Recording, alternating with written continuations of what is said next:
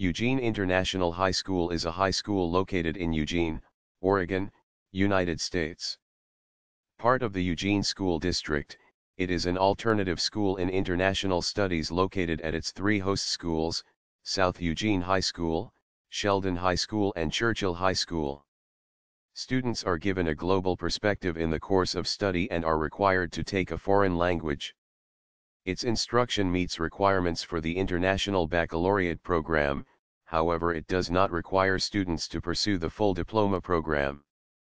The subjects covered by the school include literature, history, geography, social studies, and health, while math, science, foreign language, physical education, and electives are covered by its host schools. Immersion programs are available at South and Sheldon in French and Spanish, respectively.